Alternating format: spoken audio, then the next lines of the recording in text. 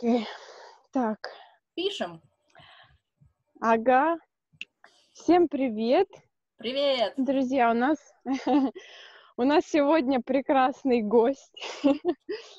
Э, очаровательная Яночка Штагер, которая, собственно, является организатором всех этих э, проектов, интереснейших интервью. И сегодня у нас есть возможность э, послушать ее как раз на интереснейшую тему, которая очень классно отражает ее внутреннюю, э, ее внутренний мир, это тема юмора.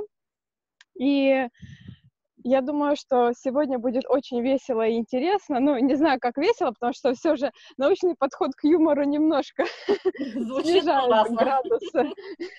Да, звучит ужасно, но тем не менее я уверена, что будет э, интересно.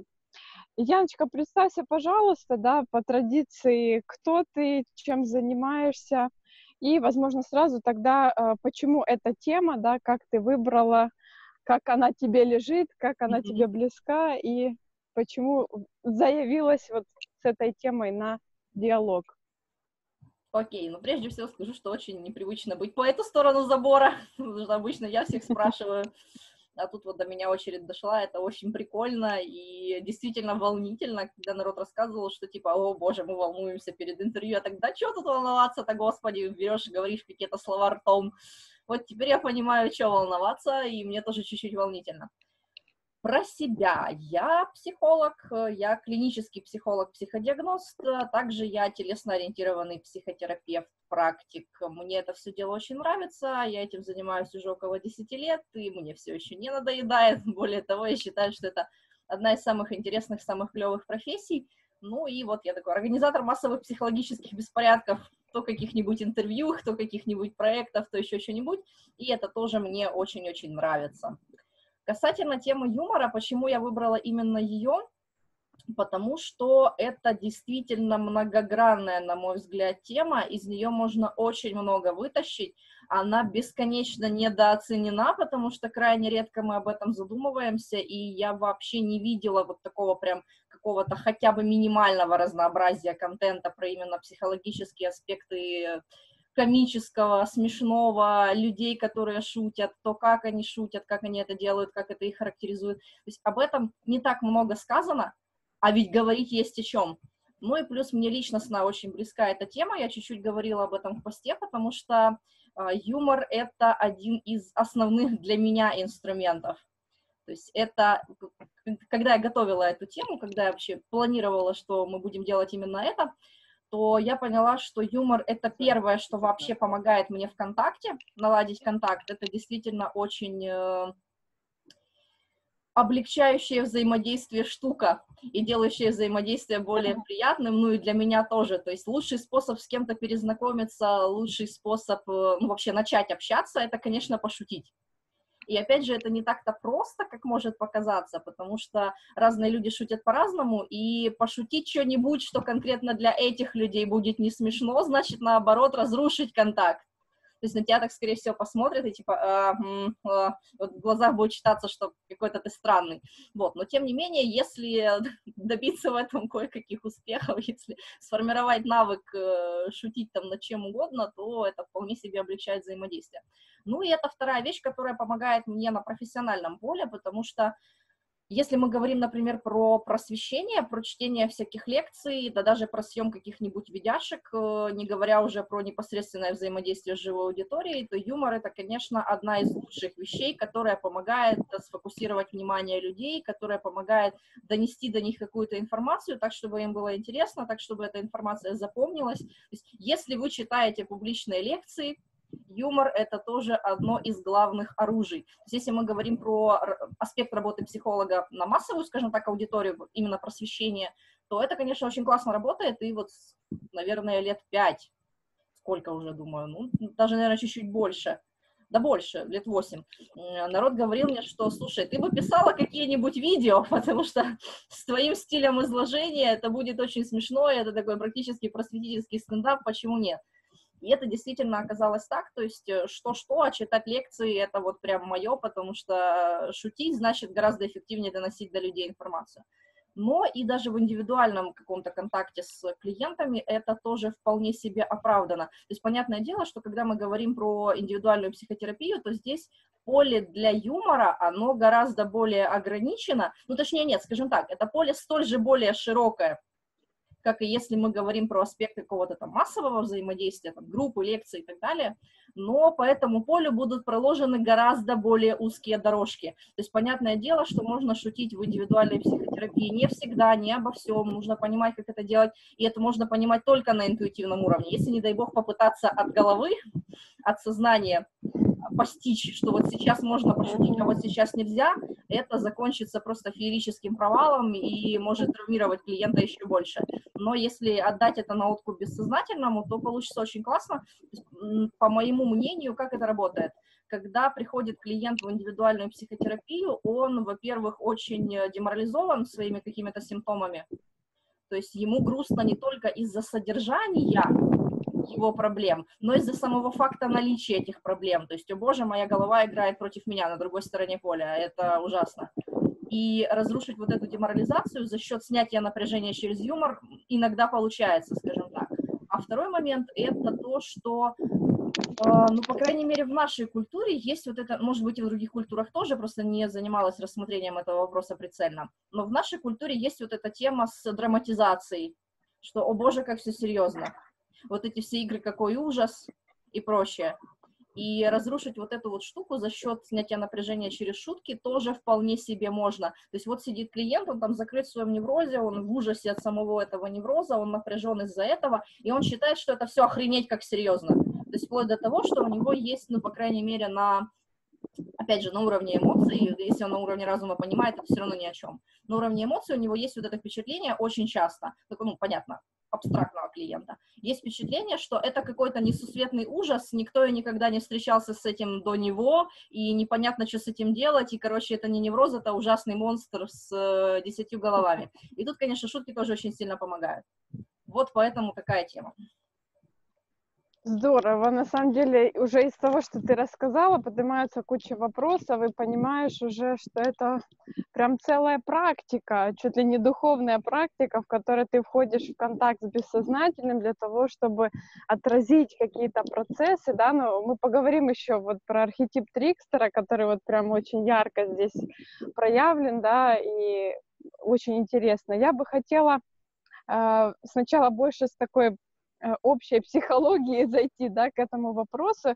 Я помню, когда я впервые задумалась вообще про ценность юмора, когда я на месяц уехала за границу и вот жила, да, не, не в Украине, и я просто, у меня через месяц, у меня случились э, вот такой настолько сильный дефицит юмора, к которому я привыкла, что я приехала домой, у меня просто пальчик покажи, я уже просто там умирала от смеха, это было просто невероятно, насколько действительно за месяц у меня сформировался вот этот дефицит конкретно юмора. И вот здесь сейчас я уже вот полгода почти тоже за границей, и я понимаю, как сильно мне не хватает привычного юмора для меня. И вот хотелось бы, да, в связи с этим как-то услышать, э, что же, собственно, такое юмор, да, с точки зрения психологии. И я вот помню, мы когда с тобой анонсировали да, говорили о том, что будем обсуждать эту тему. Вот ты рассказывала и про э, юмор, который трансформируется вот с поколения в поколение, да, то есть только mm-hmm. то, как он видоизменился уже сейчас, да, то, что было раньше, то, что есть сейчас. Очень классный вопрос. Тут можно час рассказывать, и, э, и то все равно все не расскажешь. Касательно того, что такое юмор с точки зрения психологии, очень классный вопрос, потому что, честно говоря, когда я это все планировала, я вот таким боком вопрос не задавала. А ведь именно таким боком задать этот вопрос, это прям вот максимально хорошо описывает, ну, то есть позволяет максимально хорошо описать. Что такое юмор? Юмор — это адаптационный механизм. Потому что вообще абсолютно все, что есть у нас в психике, это тем или иным боком механизмы адаптации. То есть почему у нас есть юмор, почему у нас есть агрессия, почему у нас есть там да все остальное. Потому что это помогает нам тем или иным образом приспосабливаться к среде. И с одной стороны, юмор помогает нам на индивидуальном уровне вообще смеяться, значит сбрасывать напряжение. Вот это как раз очень хорошо известно телесникам, и это очень хорошо известно любым людям, которые хоть раз участвовали в ребёферской практике, что если, mm-hmm. скажем, все эмоциональное напряжение сохраняется в нашем теле через чрезмерный мышечный тонус, через мышечные зажимы мы все это дело в себе удерживаем, и поэтому в какой-то момент, когда мы наконец доходим до того, чтобы это напряжение сбросить, оказывается, что телу, в общем-то, все равно, как сбрасывать это напряжение. То есть мы можем плакать, а можем смеяться. И вот это, кстати, та же самая тема, которая тоже чуть-чуть затронула, когда писала в объявляющем посте, про то, почему люди иногда смеются в катастрофических ситуациях, что, по крайней мере, мне часто приходилось с этим сталкиваться в работе с клиентами, когда они говорят, что вот случилась какая-то катастрофа, прям ужас, ужас, ужас, ну, то есть не просто что-то там по мелкому ужасное, а по крупному ужасное, какая-то внезапная трагическая смерть. И он говорит, и я обнаруживаю, что я начинаю смеяться, и все на меня смотрят странно, как будто бы у меня поехала крыша, при том, что на самом деле смех в таких ситуациях это как раз механизм удержания крыши на месте, потому что на рыдание может еще не хватать психического ресурса, а на сброс э, психоэмоционального напряжения через смех вполне себе. То есть прежде всего юмор и смешное — это адаптация на индивидуальном уровне. Если много эмоционального напряжения, проще поржать, скажем так при том, что у этого есть и положительный аспект, как действительно универсальный механизм сброса напряжения, но есть и отрицательный аспект. Мы можем заигрываться, и мы можем начинать засмеивать засмеивать, обесценивать, вот это вот все. То есть это тоже аспект адаптационного механизма, ну, юмора как э, механизма приспособления, но при этом это, скажем так, темная сторона процесса. То есть засмеивание это уже не есть хорошо. И, наверное, вот первое, что мне пришло в голову в качестве живого примера, это если ты помнишь, как у нас был предновогодний тренинг в прошлом году в декабре, когда мы провели просто потрясающую подготовку вечером и замечательную сессию ребёфинга в группе из семи человек, и это подняло настолько много вот этой психической энергии, в таком хорошем материалистическом смысле этого слова, что когда говоришь энергия, начинаются все вот эти двойные стандарты, что называется. И мы не придумали, куда эту энергию воткнуть, то есть куда этот энтузиазм, который в людях поднялся, эту волну эмоций, волну счастья, куда это все направить, и народ начал просто ржать, причем над какими-то, ну, объективно минимально смешными темами. То есть просто для того, чтобы можно было что-то придумать. Вот, поэтому вот такое засмеивание и сброс энергии через смех, он как бы может э, иметь положительные и отрицательные аспекты. И второй момент про то, что вот, юмор с точки зрения психологии, это, конечно же, все, что относится к социальным аспектам. Потому что нам действительно проще объединяться с людьми, которые видят смешное в том же, в чем видим мы. И действительно, то, что ты рассказала... Вот это, это интересный круто. момент, как это формируется, да, то есть вот почему одним, да, вот э, в плане даже там народности, да, или какие-то mm-hmm. территориальные группы, общины, вот у одних вот это вызывает смех, да, вот у меня mm-hmm. отчим, он был, вот он хорват, и вот насколько не смешной его юмор, хотя я понимаю, что в его стране это это было просто нереально, да, точно mm-hmm. так же там ребята там из Европы, хотя у нас на самом деле не такая большая разница да. в плане территориальной, да, дистанции, но тем не менее, насколько разные вообще да. юмор и как это вообще получается. Чтобы было прям совсем смешно, ну вот нам, чтобы было прям совсем смешно, нужно шутить не просто по-славянски, а еще и вот желательно в рамках нашей там какой-то социальной когорты, и еще и в соответствии с канонами времени, то есть из чего складывается юмор. Понятное дело, что есть какие-то вещи, которые смешные абсолютно для всех людей. И чем младше мы, тем больше вот этих вещей смешных абсолютно для всех людей. То есть чем меньше на нас повлияла культура, тем универсальнее шутки. Что самое смешное для младенцев всех времен и народов? Самое смешное — это шутка куку. -ку. Это вообще да, да, да. юмор. И если вы это сделаете любому младенцу, независимо от того, из какой он семьи, какой он расы и так далее, ему все равно будет смешно. Но дальше, чем старше мы становимся, тем больше на нас влияют именно культурные предпосылки. То есть, конечно же, тот опыт смешного, который мы получали, очень сильно на нас влияет. То есть, над чем мы привыкли смеяться, в какой культурной среде мы находимся. Даже если мы живем в одном месте и в одно время, когда мы говорим про социальные вот эти, ну, группы, не знаю, как это правильно, тут лучше бы у политолога спросить, но даже если мы говорим на таком исключительно бытовом уровне, скажем, каким-нибудь гопникам будет смешно одно, а каким-нибудь преподавателям вуза, академикам будет смешно другое. при том, что они однозначно живут в одной стране и в одно время. А, и что еще на нас влияет? Конечно же, на нас влияет, ну, скажем так, веяние эпохи, если так можно сказать. И вот это то, с чего, собственно говоря, э, тоже родилась эта идея вообще изначально. Я посмотрела выпуск э, редакции про юмор, однозначно рекомендую канал, редакция и чувак э, Пивоваров, который это делает. Мне очень сильно нравится, я его прям полюбила всем сердцем. И он делал большой выпуск про юмор, где выступали очень разные юмористы, то есть там были интервью с ребятами, которые как бы живут сейчас, понятное дело, но шутят очень о разном и по-разному. И вот для меня это стало таким просто максимальным открытием, что нифига себе, насколько различно смешное, и как оно сильно характеризует людей, потому что сначала, ну, то есть кто там был, такие прям фигуры современного юмора, это Хазанов, это Поперечный, которого я очень сильно люблю, несмотря на то, что поначалу мне его шутки совсем не заходили, потому что, ну, что-то сильно много про говно. По крайней мере, вот в первом приближении про другое как-то особо не видно. Во втором, третьем и так далее становится видно и становится понятно, что это именно такой драматический юмор.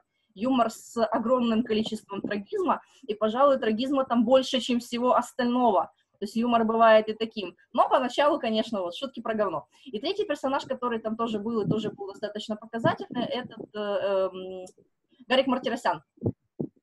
И вот когда они начали рассказывать про свое видение этих процессов, это было то, что меня просто потрясло. То есть э, Хазанов, который послушал Поперечного, и он с ним пообщался, и у них еще между собой было большое интервью, он говорит, слушайте, ребята, если бы вот там из нашего времени выдающийся комик Аркадий Райкин, если бы он послушал, о чем шутит Поперечный, он бы расплакался. Вот эта фраза меня просто поразила до глубины души, потому что из нее понятно две вещи. Насколько вообще действительно юмор э, рождается социальными процессами, то есть, ну, как он пояснял потом, почему расплакался, потому что для него это значило бы, что его школа юмора, вот его этот стиль, умер полностью. Это уже не смешно, смешны совершенно другие вещи, с которых тогда не то, что нельзя было смеяться, да в голову бы никому не пришло в публичном пространстве так mm-hmm. А второй момент, который тоже мне открылся вот из этой фразы, это про серьезное отношение Хазанова к поперечному. То есть это тоже очень крутой момент, хотя он как бы уже не совсем про юмор, он уже больше про в более широком смысле социальные процессы но однозначно для того, чтобы так сказать, нужно серьезно к этому относиться. Нужно не просто пытаться это, опять же, обесценить и умножить на ноль и сказать, что, ну, как бы вся вот эта вот современная тенденция, фиг бы с ней пройдет. Но это именно серьезное отношение, которое отражает понимание того, что да, юмор меняется, и да, что-то умирает, и это может быть грустно, и это может быть поводом расплакаться, и, ну, как, в общем-то, как всегда, когда что-то умирает но это совершенно естественные процессы, потому что что живо, то рано или поздно свою жизнь закончит. Но еще один момент, э, который тоже был оттуда и который поразил меня неприятно, но как бы, опять же, все мы понимаем, что это есть, это штука, которую сказал Мартиросян. Он говорит, что, ну, вы же понимаете, что комик, он на работе. То есть вот он там шутит про то, что вот там, ну, условно, уже не помню, в чем заключалось, заключался пример, но смысл в том, что там, бюджет выделил миллион на строительство новой дороги, дорога так и не была построена, но какой-то депутат заимел новый Lexus. И говорит, и все смеются, и такие, да, депутат сволочь такая, говорит, но комику-то при этом все равно. То есть ему абсолютно по барабану и на депутата, и на дороги, и на все остальное. И вот тут мне стало по-настоящему грустно, потому что было совершенно видно, что в его картине мира так и есть. А вокруг него консолидируется огромное количество создателей юмора, которые тоже влияют на свою аудиторию, и понятное дело, что он, э, ну, когда он непосредственно пишет шутки и шутит, он, конечно же, не говорит об этом прямо, но, безусловно, те посылы, которые мы вкладываем в свое творчество, они везде сквозят. И вот выходит человек и такой, вы знаете, я написал шутку, потому что, ну, я этим зарабатываю и он транслирует вот такой неживой коммерческий юмор. Это реально печальная фигня. И когда Пивоваров спросил Поперечного про то, что, ну вот, ты там шутишь на всякие остросоциальные темы, он говорит, меня это волнует. Я шучу об этом, потому что это меня волнует. Говорит, если там пару лет назад я шутил, скажем, про э, гомофобию, высмеивал гомофобию, потому что тогда меня волновало это, но опять же уже точно не помню, но смысл в этом. Сейчас я шучу про правительство, потому что меня волнует правительство. Я там молодой человек, активный, э, который живет в этой стране и так далее. И когда он это говорит, то становится понятно, что его действительно волнует. И если мы посмотрим шутки Поперечного и шутки Comedy Club, формально они как бы на одном уровне. То есть вся та же самая история с анально-генитальным юмором. Но по эмоциональному посылу это абсолютно разные вещи. То есть в этом плане, что такое юмор с точки зрения психологии, это еще и вот такой маркер социальных процессов. Вот как-то так. Mm-hmm. Не знаю, насколько это вообще звучит понятно, Здорово. потому что когда я разговариваю, Все мне кажется... понятно, да, очень... Не-не, очень-очень глубоко, на самом деле, прям вот я восхищена тому, как ты глубоко копаешь в этом вопросе, и хочется задавать больше и больше вопросов, но понимаю, что время ограничено, поэтому спрошу то, что прям сильно волнует. Mm-hmm. По поводу того, что, по поводу чувствительности к юмору, да, вот опять же, да, есть люди, которые легко воспринимают юмор, mm-hmm. а есть люди, которые прям, ну вот, ну кажется, что человек либо не понимает чего-то, да, либо что-то у него явно там сложно как-то отношения с этим. Э, является ли это показателем там психологического здоровья, например, или каких-то таких вещей? Как ни странно, да. Понятное дело, что только по этому параметру мы не можем делать никаких выводов. Это, знаешь, вообще универсальный вопрос, любой вопрос задай клиническому психологу, типа, а вот это является показателем психического здоровья? Ответ будет один и тот же. Да, является, но только поэтому нельзя сделать никаких выводов. Прям реально универсальная такая тема. Потому что, с одной стороны, способность создавать смешное и способность понимать смешное, она, конечно, очень сильно завязана на интеллекте. То есть, как ни странно, чем больше у человека юмора, чем больше он э, въезжает во всю эту тему, тем, эм, скажем так, не то чтобы тем он умнее, потому что, опять же, юмор бывает разный. Для того, чтобы понимать шутку про говно и письки, там, семи пядей во лбу не надо. Но, тем не менее, когда мы говорим про какой-то, ну, хотя бы более-менее завуалированный какой-то момент, вот тут уже для того, чтобы это понять, а тем смешнее, ну, опять же, может быть, это моя проекция, но, по крайней мере, по-моему, тем смешнее, чем больше шутка спрятана. Потому что тогда, пока разум ее распакует, конечно же, получается гораздо больше кайфа на выходе, потому что там больше в эту историю вложено ресурсов. Поэтому для этого, конечно, нужен интеллект, и поэтому связь интеллекта и юмора, она несомненна. Хотя вот тут мне сейчас еще одна штука в голову пришла, скажу про второй момент, и тогда ее озвучу. Второй момент, про который точно можно сказать, это травмы, которые человек получил, тоже, безусловно, влияет на то, как он воспринимает смешное. Вот когда мы говорим про различные табуированные темы для шуток, если мы спросим у человека, над чем нельзя смеяться и над чем нельзя смеяться ни в коем случае, то по его ответу и по его реакциям в момент этого ответа мы сможем достаточно отчетливо понять, есть ли у него какая-нибудь больная тема. А если у кого-нибудь есть больная тема, но ну, прям он не может ее затрагивать, и прям сильно она у него болит по сравнению с другими темами, то это однозначно указывает на какой-то психотравмирующий материал, который за этим стоит. И, Я прям так, сейчас себе психодиагностику сделала. прям, прям результатом. Сейчас, знаешь, такое, типа, о боже, о боже. Ну, это такое очень достаточно. Ну, вот первое, что мне пришло, это то, что нельзя шутить над изнасилованиями. И я понимаю, что это, да, это очень заряженная тема да, то есть, ну, вот прям настолько ярко, потому что, в принципе, я люблю шутить над, в принципе, над всеми вещами, да, mm-hmm. то есть даже там, э, даже э, каннибализм не вызывает у меня вообще каких-то таких, да, там, Вот, да, моментов. вот это вот, знаешь, вот это уже прям реально различие между разными темами, потому что каннибализм и изнасилование это примерно одинаково по ужасности. Но когда мы говорим, что вот над этим, в принципе, там можно, а вот над этим нельзя ни в коем случае, это уже про нас. Да, стопроцентно, очень диагностично. И еще один момент, который тут тоже можно сказать, это то, что э, тоже я чуть-чуть это затрагивала, про черный юмор в среде медиков. Да, да, да. Да, очень что... интересно вообще, mm-hmm. в принципе, как они совладают со своим стрессом. Да, как они справляются со своим стрессом, потому что если ты будешь все время а, ходить на серьезных щах, у тебя просто случится эмоциональное выгорание. Но если обычный человек послушает шутки медиков, они вряд ли покажутся ему смешными, и, скорее всего, многие из этих шуток даже покажутся ему кощунственными. То есть скажут, не-не-не, ребята, над этим нельзя шутить, вы чё? Вот. И что еще может, можно сказать о связи э, юмора и душевного здоровья? Ну, это вторая мысль, которая пришла мне, когда я начала говорить про то, что юмор однозначно, способность шутить и понимать шутки однозначно связана с интеллектом. Про то, что тут тоже нужно понимать, что юмор бывает очень разный.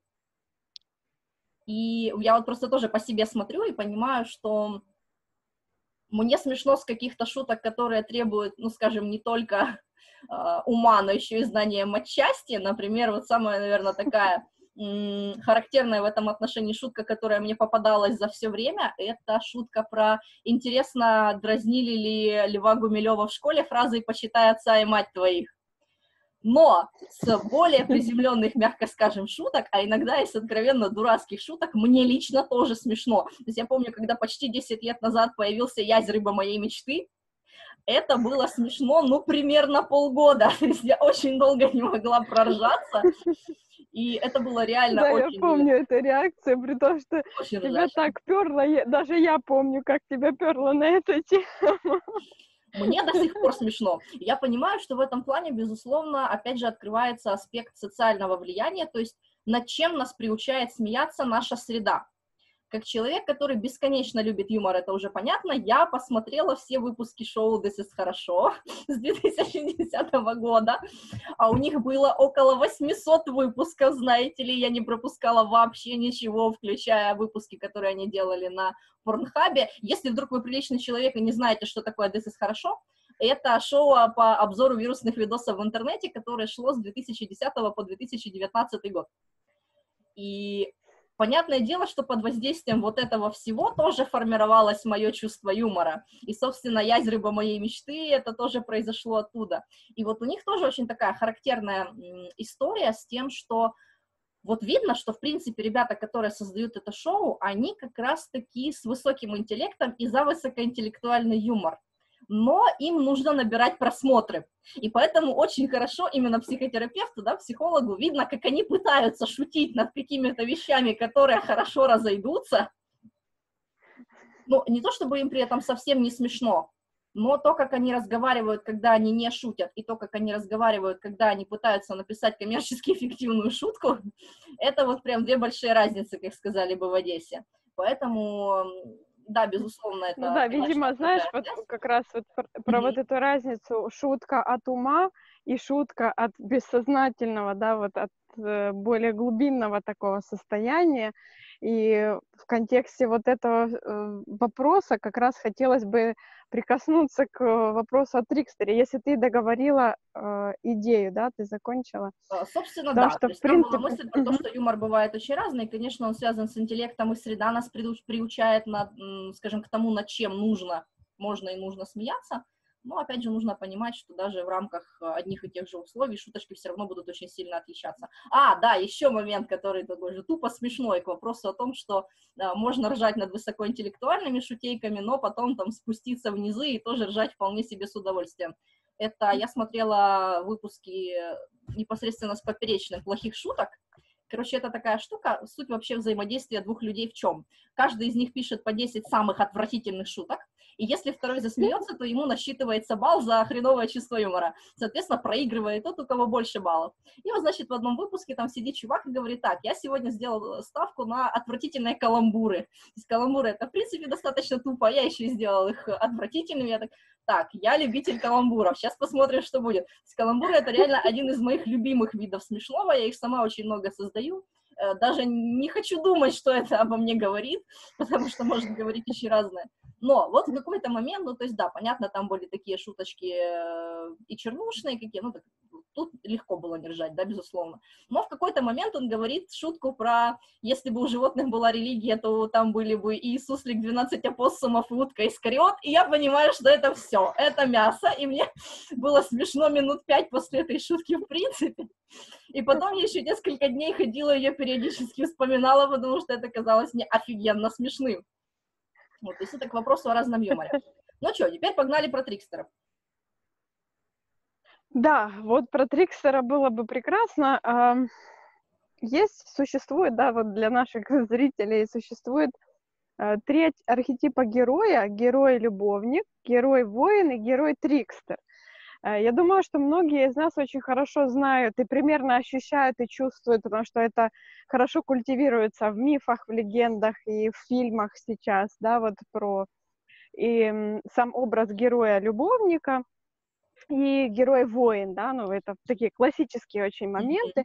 А вот как раз э, герой Трикстер — это вообще что-то такое очень непонятное, и даже если взять бога Диониса, да, который, по сути, является, да, тоже э, вот этим образом Трикстера, ну, там очень такая интересная история э, из, изменений жизни, собственно, да, э, этого божества, и какие там у него приключения происходили. Mm-hmm. И на самом деле, да, юмор, вот как проявление этого архетипа, это очень интересно, потому что как раз вот то, что ты говоришь про проявление бессознательного, когда ты не просто интеллектуально чувствуешь, что нужно э, сказать или как нужно пошутить сейчас, mm-hmm. да, а это вот как бы от импульса на волне, когда ты действительно взаимодействуешь с вот этими глубинными слоями. Как ты чувствуешь, как для тебя это ощущается у тебя, потому что это твой ведущий архетип, да, он часто в тебе проявлен, ну, то есть не ведущий, но он часто проявлен гораздо больше, чем у других, как минимум, моих друзей. И, безусловно, это очень ценно, да. Как ты его чувствуешь, э, как вообще, в принципе, у тебя это взаимодействие происходит, что это для тебя такое, да, вот что на эту тему можешь сказать? Это офигенный вопрос, потому что Трикстер — это еще одна тема, про которую можно говорить час, а то и часами. Трикстер, скажем так, он очень специфический, потому что это действительно минимально понятный архетип, и он минимально понятный именно в нашей среде, потому что если мы, опять же, возьмем славянскую мифологию, какой в наших там, сказках, да, допустим, типичный трикстер? Типичный трикстер — это, скажем, ну, самый типичный из всего, что есть у нас. Это Иван Дурак, который по итогу как раз-таки оказывается самый не дурак. Но шуток при этом нету. То есть при этом есть какие-то очень специфические... Максимально серьезная мифология. Да, максимально серьезный трикстер, такой даже трагический трикстер. Мне очень нравится у, по-моему, у фонда «Нужна помощь», фонда для фондов, у них есть свой мерч, ну, ну, может быть, у кого-то вот из их там друзей, скажем так, но у них есть офигенный мерч, такая футболка, на которой написано «трагический контент», или такая розовенькая, веселенькая футболочка, на которой написано «непереносимо». То есть вот Иван Дурак, он примерно такой трикстер, потому что реально там ничего смешного нет. Там есть какие-то, скажем, дурацкие ситуации, то есть трикстерство Ивана Дурака в том, что он попадает в дурацкие ситуации. Ну, вот э, старший брат выстрелил, стрела упала в купеческий двор, средний брат выстрелил, стрела упала там на дворянский двор, да, или, сейчас глупость я рассказала, но смысл понятен. Э, младший брат выстрелил, стрела упала в болото, и он будет жениться на лягушке. То есть самого смешного в этом это дурацкость ситуации, но дальше никаких шуток, все очень серьезно. Поэтому вот эта штука, она, безусловно, на нас очень сильно влияет, потому что если мы посравниваем с трикстерами других стран, то у нас, ну, не то чтобы я прям рискну заявить, что наш самый трагический, но что-то в этом есть. Что если мы сравним, например, с трикстером индейцев, э, койот, типичный трикстер, или даже заяц. Мне моя учительница английского, с которой мы занимались в прошлом году, чтобы я не тупила на конференции по психоделической терапии, она мне подарила книгу Rabbit the Trickster. И там вот было описано про зайца, который с помощью своих трикстерских штук украл огонь. Дальше животные его там друг другу передавали, и в итоге таки добыли для себя огонь. И у них очень много вот этого всего контента. Если мы возьмем, например, скандинавскую мифологию, то у них тоже не очень смешной трикстер, и он тоже очень сильно отражает вот их, скажем, э, средовые особенности, потому что у них Локи, который, в общем-то, довольно-таки говнюк, если мы вот так вот это дело рассмотрим. В общем, греки выделились больше всего. У них там вино, у них там гульки всяческие, в общем. Чудесный каноничный трикстер, трикстер здорового человека, назовем это так. Мог. Действительно, для меня это очень близкий архетип, и когда я вообще исследовала, что же это такое, потому что даже если мы берем вот три типа героев, да, герой воин, это понятно, драконоборец, опять же, если мы берем нашу мифологию, а, Котыгорошко, Кирилла Кожем'яка, вот это вот все, то есть там все ясно. Герой-любовник тоже понятно. Вот тот же самый, э, ну, не знаю, кто там каких-нибудь принцесс высвобождает, вполне себе все ясно. Но если мы говорим про Трикстера, что это вообще такое?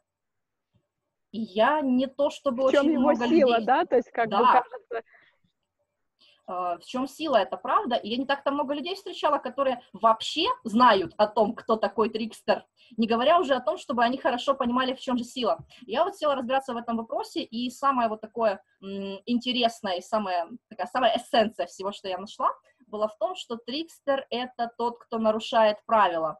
То есть трикстер, как ни странно, тоже творец, и может быть в нем даже больше творческого, чем в предыдущих типах героев потому что герой-воин, он точно не творец, он скорее разрушает то, что должно быть разрушено. Герой-любовник, он тоже не совсем творец, он скорее ориентирован на отношения между.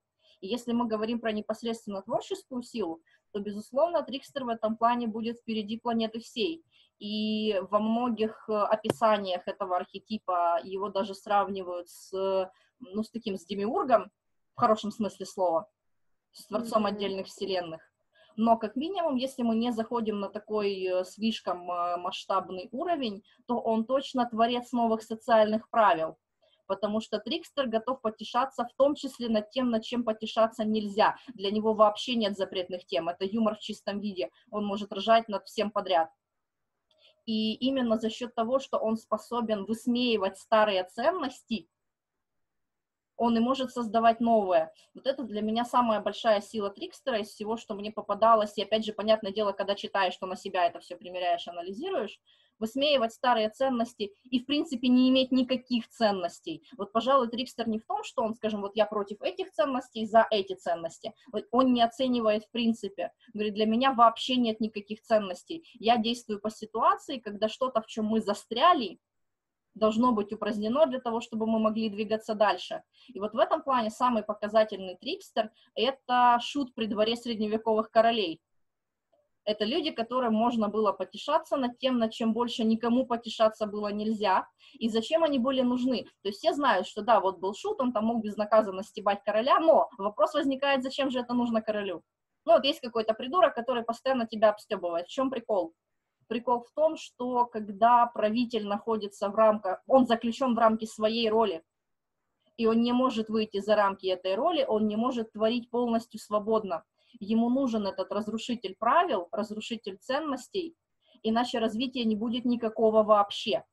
И когда мы говорим, что где-то становится очень много трикстерства, что, допустим, вот какая-то социальная среда или какой-то процесс, в котором раньше все было э, серьезно и сам себе в зеркало не улыбаюсь, и тут внезапно в этом становится очень много трикстера, очень много способностей прикалываться, высмеивать, э, отказаться от ценностей и так далее, то мы понимаем, что это значит, что эта система или этот процесс дозрели до трансформации. То есть Рикстер очень созидательный, и он очень свободный. И, пожалуй, вот это то, что мне больше всего нравится в нем, если мы говорим, что да, Трикстер один из моих таких центральных архетипов. И это штука, которая мне очень нравится в себе, это способность не привязываться вообще ни к каким ценностям. Ну, то есть, понятное дело, что у меня есть э, ориентированность. Вот если мы, опять же, возьмем, как это в политологии, мне очень нравится вот эта табличка, где они составили, ну, как это сказать, систему координат, да, декартовскую, где они по X uh-huh. отложили, вот, скажем, с одной стороны у них были ценности выживания, а с другой стороны ценности выражения, а по оси Y они отложили с одной стороны традиционалистские ценности, ценности аграрного общества, с другой стороны секулярно-рациональные ценности. То есть ясен пень, что в таком контексте я, конечно же, буду более привязана к секулярно-рациональным ценностям и к ценностям самовыражения. Но если мы говорим про какой-то, опять же, глобальный уровень, про в целом по-моему, чем меньше этой привязанности, тем лучше, и я это в себе очень ценю. Вот это сила Трикстера для меня. Опять же, не знаю, насколько это понятно нормальным людям, но надеюсь, что если непонятно, я вот думаю, что... можно задать вопрос. Да, да, я думаю, что можно, если что, обсуждать. Я думаю, что вопросов э, на самом деле много поднимается в контексте того, о чем мы говорим. И Дальше, в продолжении этой темы, хотелось бы спросить твое мнение, как ты считаешь, можно ли развить в себе вот эту энергию, опять же, трикстера, да, потому что это даже вот лично мой такой вопрос, я в свое время очень сильно залипла в архетипе вот это герой-воин, и я просто помню вот эти моменты, когда даже самые мелочи воспринимались как что-то вот такое глобально серьезное, с чем нужно просто сражаться mm-hmm. внутренне. То есть любой вопрос — это сражение. И тогда я помню, что мне еще Андрей Флешвик говорил, что Инна, тебе нужно развивать трикстера. И я помню, что я пыталась как-то вниманием переключаться, вот, да, как бы трикстер на это отреагировал, mm-hmm. да, если мне э, сложно. Э, как ты сама считаешь, можно ли развить в себе эту энергию, если она слабо проявлена, если ты такой по жизни суперсерьезный человек, и все у тебя очень серьезно, да? Можно ли как-то сбалансировать вот этот аспект? Я уверена, что можно. Для этого достаточно задаться целью потому что если у человека нет такой цели, то ничто снаружи насильно ему это не привьет. Ну, то есть ему, конечно, могут подать хороший пример, что вот смотри, скажем, жить с небольшим градусом серьезности гораздо приятнее и эффективнее, что характерно, чем когда ты сам себе в зеркало не улыбаешься. И это может его зацепить, но для этого у него должна быть, ну, хотя бы скрытая мотивация меняться. То есть если человек не хочет меняться, он такой, не, я тут, короче, вот на серьезных щах, у него есть на это причина, его адаптация держится на этом, не надо его трогать. Одна, одна из моих таких вообще э, базовых э, убежденностей, одна из базовых концепций – что если человек не хочет расставаться со своими адаптационными стратегиями, не надо его трогать, потому что 10 раз подумать, можешь ли ты предложить ему что-то действительно столь же эффективное в его системе координат, а не так, как ты это видишь. Но когда ты уже задался целью, что окей, я хочу стать чуть-чуть легче, чуть-чуть веселее, чуть-чуть более расслабленно ко всему этому делу относиться, то это вполне себе можно развить. И для меня такой э, хороший развивающий трикстера вопрос, это вопрос, э, насколько все серьезно. Вот как ты думаешь, насколько все серьезно? И иногда для того, чтобы правильно оценить серьезность момента, нужно прям выйти за пределы вообще собственной жизни. Иногда даже так. И понятное дело, что это не всегда легко сделать, но если есть мотивация, если человек понимает, что да, окей, мне в моей жизни не достает именно трикстера, не достает именно вот этой вот легкости, то вопрос, насколько все серьезно, даже если для этого придется отвлечься от любимого эго, это самая, по-моему, крутая штука. Вот кроме того, что ты уже сказала, да, чтобы там не дублировать эту тему, про что бы сказал э, Трикстер об этом, вплоть до того, что можно, скажем, составить для себя список любимых трикстеров, вот, там, что бы сказал на моем месте там тот-то, да, кого я почитаю за хорошего трикстера. Mm-hmm. Но вот эта вот тема с вопросом, насколько все серьезно, она тоже довольно-таки, и я это использую, ты сейчас понимаешь, что я это использую неосознанно. У меня уже есть такой встроенный механизм, который на уровне бессознательного решает, насколько все серьезно, и обычно дает ответ или «да вообще, там, господи», или дает ответ «да, все серьезно, но не очень». Вот э, такой типичный трикстер — это чеширский кот из «Алисы в стране чудес», в этом отношении, который э, прям трикстер-притрикстер, и про него Алиса так сказала, говорит, что ну видала я котов без улыбок, мол, улыбку без кота. Вот улыбка без кота — это прям такой характерный образ трикстера, и когда по-моему, сам, у самого Кэрола этого не было, но из этого мировое пространство породило мем, где Алиса спрашивает, э, говорит, а жизнь это серьезно? И кот говорит, ну да, серьезно, но не очень. И вот это вот прям такой концентрированный трикстер, потому что, безусловно, в моей жизни, ну, как бы мне вот 30 лет скоро, через несколько дней, безусловно, в моей жизни бывали ситуации, когда все было очень серьезно, когда вопрос стоял на уровне жизни и смерти, и когда действительно было неизвестно, буду ли я жить дальше. И это было неоднократно, когда, вот знаешь, там, типа, попал в какую-нибудь переделку, не успел испугаться, вышел, пошел дальше а эти события были несколько раз, там, к счастью, все всегда чудесным образом заканчивалось хорошо, но само вот это переживание, что я не знаю, есть ли у меня будущее в сложившейся ситуации, это у меня есть. Поэтому, когда я говорю, что вопрос, насколько все серьезно можно задавать даже в действительно серьезные моменты и отвечать, ну да, серьезно, но не очень, для чего придется и правда отвлечься от своего любимого эго и выйти на уровень за пределами собственной жизни, это работает. То есть я могу с уверенностью утверждать, что я в этом не голословна.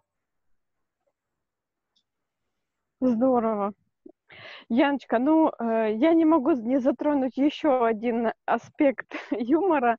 Э, это то, что касается психоделических вещей, потому что да. на самом деле это настолько яркий процесс, да, в плане юмора и в плане э, всяческих шуток и того, что вообще происходит.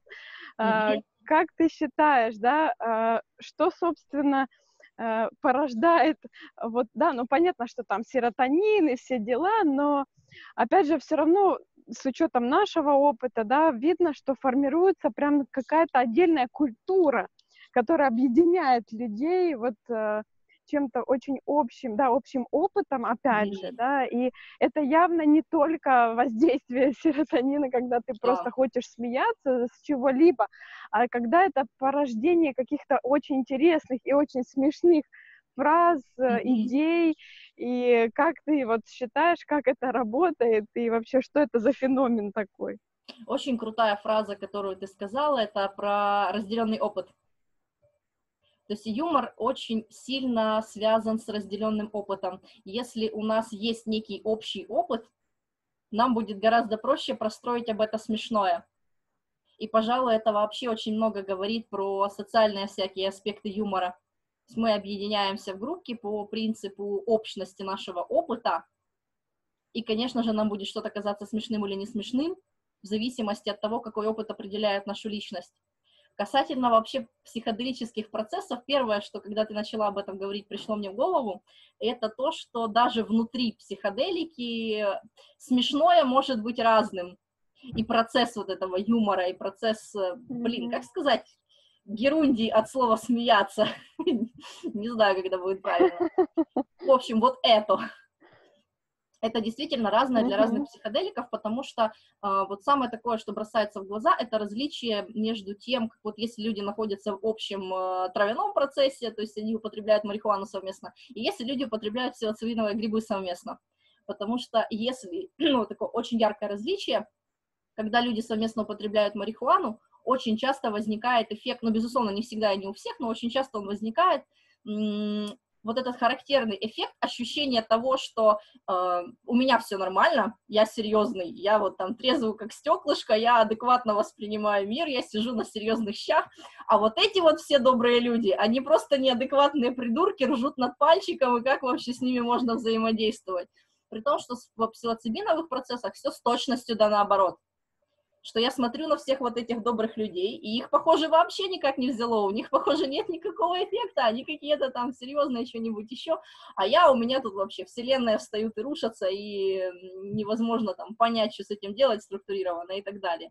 То есть, конечно, есть очень большая разница между тем, как мы смеемся и что нам смешно в этих процессах зависимости от самого вещества, но, наверное, самый такой главный момент, самый важный момент, который, если уж по-серьезному приходит мне в голову, то серьезный трикстер, да, оксиморон. Это то, что психоделики, они все-таки по определению вещества, раскрывающие психику. Они поднимают что-то, что находится на глубинном уровне, они раскрывают нашу сердцевину, позволяя отшелушить какие-то аспекты, прежде всего негативные аспекты того индивидуального опыта, который с нами случился. То есть в этом контексте для меня что такое психоделик? Психоделик — это то, что позволяет раскрыть общее, освободившись от негативного частного.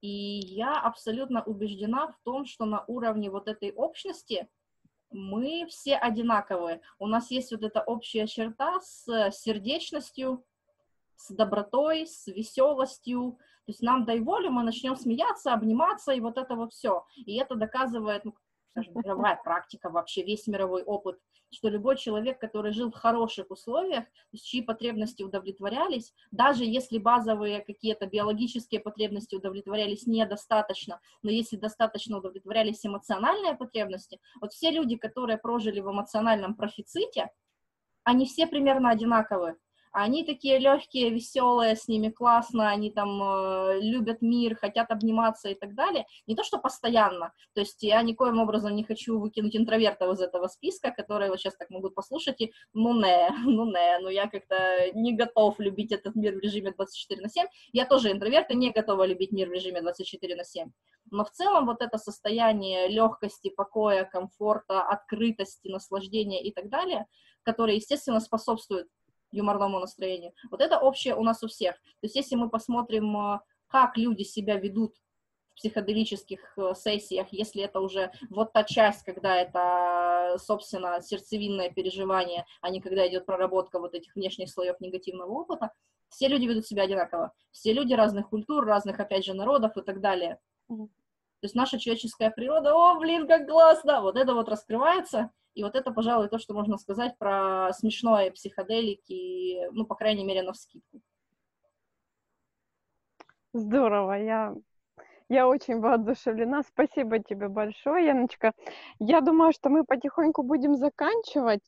И хотелось бы, чтобы в завершение ты сказала какую-нибудь либо шутку, либо историю, которая вот приходит тебе на ум из твоей жизни, да, вот то, что там, например, до сих пор вызывает у тебя улыбку, э, какой-то процесс, возможно, что-то, что чем хотелось бы поделиться, да, с миром, возможно, привнести немножко радости нашим слушателям в том числе.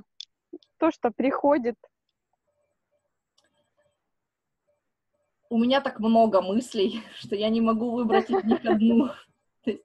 над чем мы сможем поржать напоследок, чтобы это было содержательно? О, знаешь, такой, и ушел в глубокую медитацию.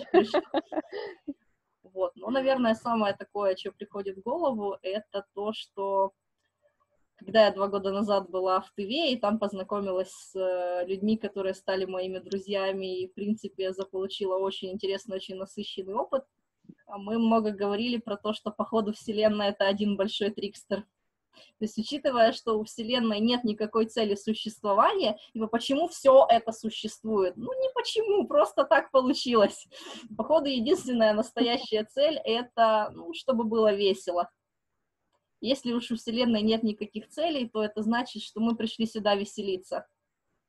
Поэтому такой большой посыл. Порадуйте Вселенную, оправдайте свое существование, наслаждайтесь этой жизнью, позволяйте себе смеяться и позволяйте себе смеяться даже там, где это может казаться неправильным с социальной точки зрения, потому что если вам весело и хорошо, и никто от этого не страдает, то какая разница, какие концепты по этому поводу существуют в обществе? Как-то так. Здорово. Спасибо тебе огромное, Яночка. Твой тебе, очень юмор классно. действительно привносит очень многое в процесс э, и дружбы, и психотерапии, и просто общения. И это действительно такая вот твоя фишка, по которой тебя узнают из 7 миллиардов человек. О, вот. это, кстати, тоже фраза из э, грибного путешествия. Да-да-да.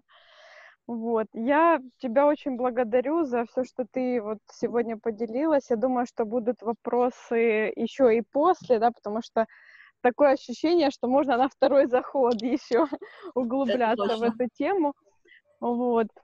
Ну что, будем тогда завершать. Всем да. спасибо за внимание. До новых встреч!